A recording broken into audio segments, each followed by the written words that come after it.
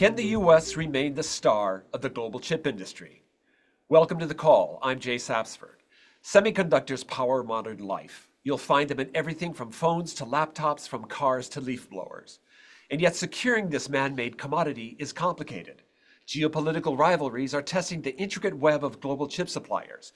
Here in the US, we dominate a crucial part of that supply chain, but we have a shortage of engineers. We regulate too much, and sometimes we find ourselves short of the water, copper, or importantly, energy needed to fuel production. So let's cut to the question of the moment. Can the US maintain its edge in chips? Joining us now is John Neuffer, President and CEO of the Semiconductor Industry Association. John, welcome to the call. Thanks, Jay. Uh, really glad to be here. And the answer to the question is yes. John, here's your opening prompt. Can a country any country be an economic military world power without being a major player in the chip industry? Yeah, I, I, I don't think so. I mean, the, the chip industry is just so incredibly foundational to kind of everything in, in our innovation economy, digital economy. Um, uh, right now, the US uh, has captured about 50% of the global market share, and it's been that way for uh, many decades. Um, for jobs, we provide about 400,000 jobs, but 2 million indirect jobs. That's on the kind of the, the straight economic side. But in national security, without our chips, we don't have the, the, the war fighter capabilities that we have. Um, and things like um, cutting edge stuff like AI, without semiconductors, we don't have AI. So unless there's like raging innovation when it comes to semiconductors, we, we don't have these kind of breath, we don't have this breathtaking progress that we've been, been able to make in AI. And frankly, uh, that's why we are the world leader in artificial intelligence. And yet it's far hard to find an industry that is more global, more interdependent. Is there any single country out there that makes an entire advanced chip from soup to nuts, from beginning to end?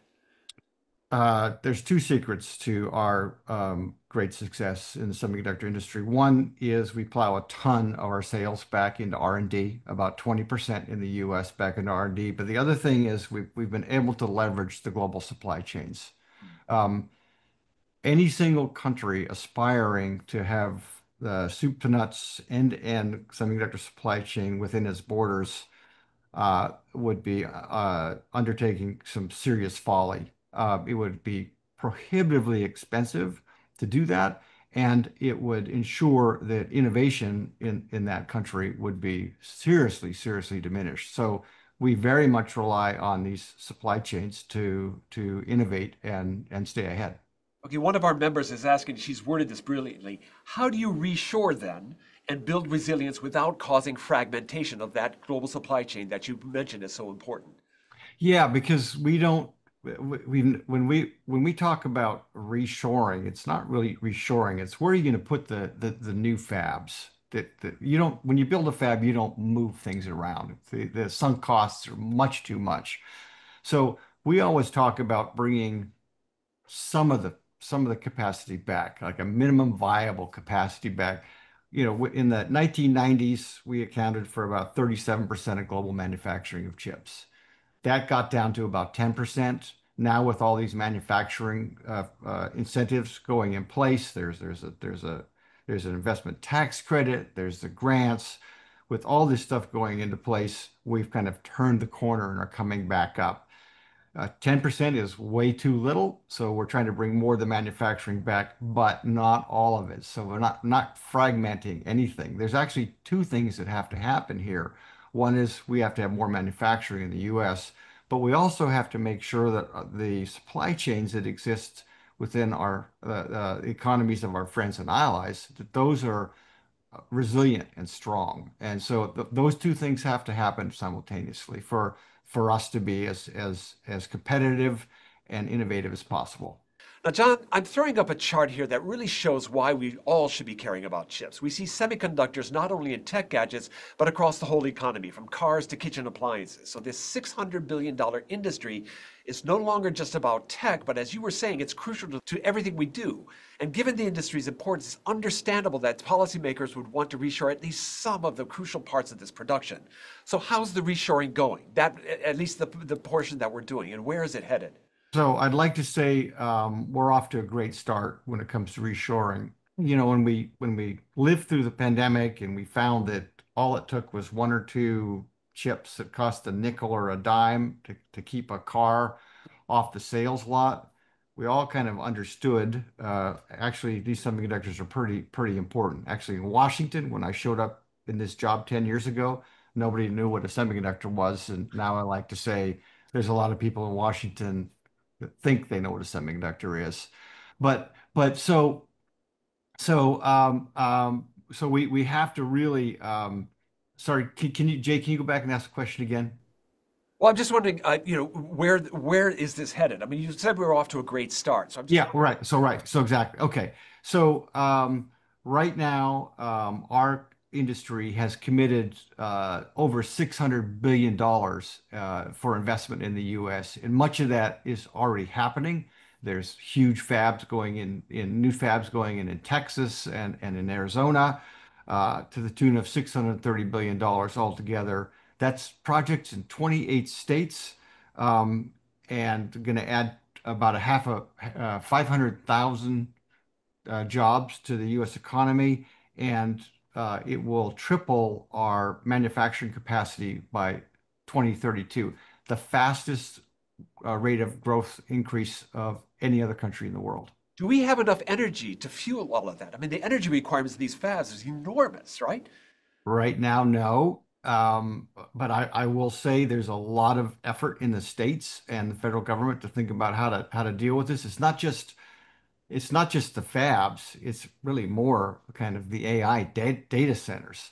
The thing that we look at very closely is how can we make our chips more energy efficient? So every year we do that by about twofold. Every year we increase our, chip efficiency by about two times. The problem is is the performance increases, and the demand for AI is even faster than that. So this is a big challenge for us, Jay. I'm confident we'll get in front of it, but right now it presents itself as a challenge that's There's going to be other resource constraints too, if my understanding is correct. We're going to have, you know, we're going to have talent. We have shortages of water, depending on where the fabs are, or uh, even copper, basic critical minerals, and things like that. There yeah, moves underway to address all of these? yeah. So um, our cutting edge fabs reuse about 90% of of the water once it's uh, once it's um, in the system. That's on the cutting edge. We still need we need to improve there. On the critical mineral side, no doubt about it. Um, that that that's that's a major challenge. Um, the, the good news is we're not the only ones out there facing this challenge. So we have a lot of uh, allies in industry that are working to to diversify our um, our sources. What this does say, Jay, is that we need to make sure that our relations with our friends and allies around the world are strong so that we can draw on them as well to help us uh, meet this challenge. Well, it's interesting you bring that up because here's a chart that I found quite surprising. We're not looking at sales here, we're looking at which countries add the most value to the global supply chain. And of course, the more value you add, the more profits you make. We hear a lot of discussion about China, but when measured this way, frankly, the US's value add is six times that of China. That raises a series of questions to me. Are the China hawks right to see the Chinese chip manufacturing as a competitive threat?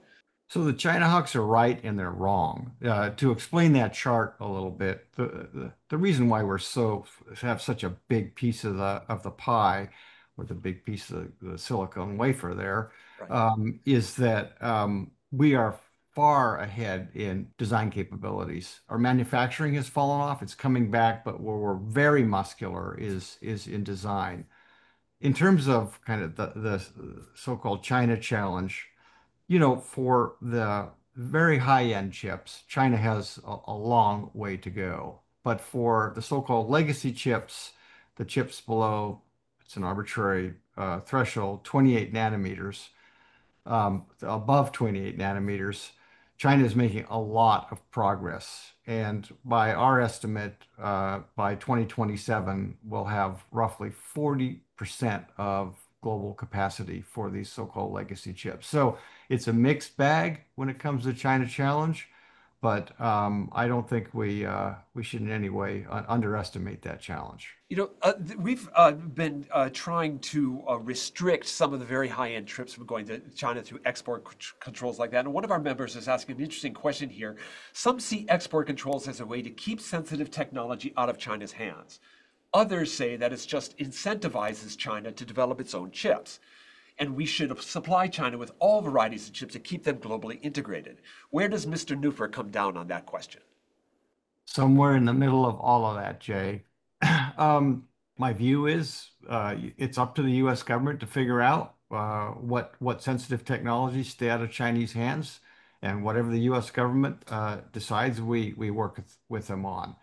Um, I, I I do also uh, believe that us being integrated into the Chinese economy as an industry is important. It helps us with our, our connectivity and um, as as economies and as nations, and I think that should not be underestimated. Another uh, member is asking, how are tariffs likely to uh, affect uh, the global supply chain? For for the semiconductors, the um, I think the big thing that we talk about um, repeatedly is that as the administration is thinking about tariffs, please recognize that um, we, we, we can't have the entire global supply chain here. It would be prohibitively expensive and really retard our ability to innovate. So um, we need to we need to rely on inputs from overseas, both to build the fabs, the fabrication facilities, and and to run them. So as tariffs are being put in place, and we know they're coming, we've asked the administration to to keep in mind that isn't the ask the question, isn't the kind of overarching objective of reindustrializing America the first order objective here? And um, uh, let's let's try to limit these tariffs so that these key input in, uh, inputs don't make it prohibitively expensive for us to manufacture here in the U.S., uh, both to build the fabs and, and to run the fabs. Now, on those imports, another member is asking, what do you expect on the ongoing 232 and 301 investigations on the industry, and when can we expect to hear about those results and forthcoming actions? Now, these are both designed to address unfair trading practices or harms to national security, if I'm not mistaken. Yeah, well, I'll say two things. One, um, I'm not gonna I'm not gonna guess crystal ball when when these these tariffs may be coming. Um, but I, I, I will say I'm, I'm, we're expecting to get some, some, some level of tariffs uh, for semiconductors. I, I, I do, I do think that that is coming. And China makes a lot of commodity chips, but it also imports a lot of chips. My understanding is China imports more semiconductors than it does oil at this point. Uh, what does that say about about uh, their competitive positioning? Yeah, so a couple things there. Um, China sucks up about 30% of chips produced in the world. Uh, now, keep in mind that about half of those chips that go into China are kicked right back out in goods manufactured there. So, so it's a little bit deceptive. The other half, half is, is, is absorbed by the economy. And just, yeah, just to clarify something here, you know, in terms of exposure to the Chinese economy as, as a market, it, it's very significant for our, our, our industry.